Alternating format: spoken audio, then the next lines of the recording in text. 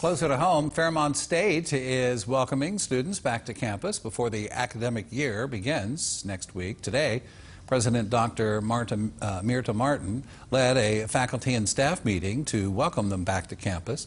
Dr. Martin also spent time welcoming students to the university as they checked into their dorms, other activities that the university is offering through the week.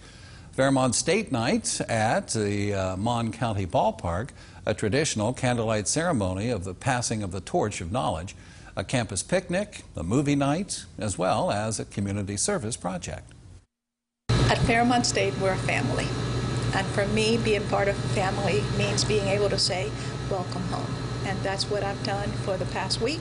That's what I will do this week, and I will continue to do that day in and day out to whomever chooses to make Fairmont State a destination of choice. So I think this year more than ever, just given the last year and a half that we've had on our campus and nationally, that students are looking for this. They want to get engaged, they want to have that opportunity.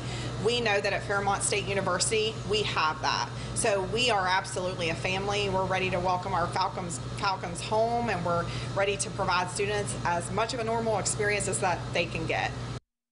And classes for Fairmont start next Monday. That's August 9th.